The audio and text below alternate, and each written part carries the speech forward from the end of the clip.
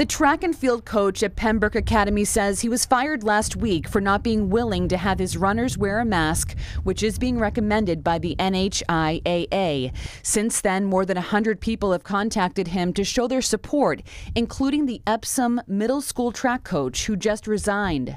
I didn't feel right asking um, kids to to wear masks while running outside. It just doesn't make sense to me. It's encouraging to hear from other people who think the same way and are trying to do something about it. One of his athletes started a petition hoping to get the mask wearing recommendation reversed for certain situations competing and strenuous workouts. Those are my two main things. A father of a student athlete in Manchester also created a petition. He has more than a thousand signatures so far. What happens now that we start limiting their, their oxygen intake or something along those lines, or it's a hot day and they're wearing a helmet and a mask?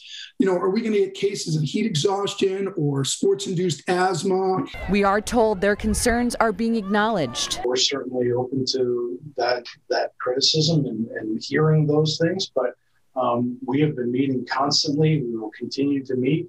Um, we've revised our guidelines throughout, you know, this, this entire year. The Athletic Association's Sports Medicine Committee meets on a weekly basis to discuss these current recommendations. Reporting in Pembroke, Kristen Carosa, WMUR News 9.